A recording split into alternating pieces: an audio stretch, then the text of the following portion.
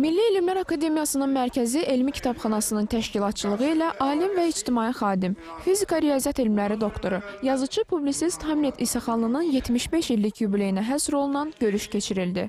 Görüşdə Elmlər Akademiyası mərkəzi elmi kitabxanasının direktoru Məmməd Əliyev, bir sıra elm xadimləri, professorlar iştirak etdi. Tədbirdə Azərbaycan Milli Elmlər Akademiyasının prezidenti, akademik İsa Həbibbəyli müəllifin nəşrlərinin kitabxananın zəngin arxivində olmasından məmnunluq hissi keçirdiyini bildirdi. Bu vaxta kimi gördüyü işlərdən elm sahəsinə verdiyi əvəzsiz töhfələrindən danışaraq professoru Gürcüstan Respublikası Elmlər Akademiyasının xarici üzvü seçilməyi münasibəti ilə təbrik etdi.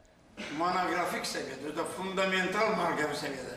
Müxtəlif sahələrdə kitablar yazmışam. Kitabları çox müxtəlif dillərdə, özüm bir neçə dildə yazıram da, Azərbaycan dilində, rus dilində, ingilis və türk dilində bu, bu dörd dildə özüm yazıram. Amma başqa dillərə də xeyli kitablarım tərcümə olunub. Həm riyaziyyat üzrə, həm elm, mədəniyyət, tarix üzrə, həm ədəbiyyat üzrə, həm şair kimi şeirlərim m, çıxıbdı ç- müxtəlif dillərdə.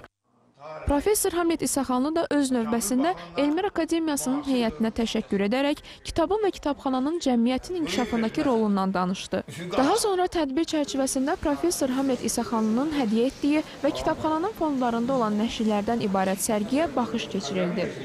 Həmdə xanım Ağayeva, Nicat Qasımov, Mədəniyyət xəbərləri.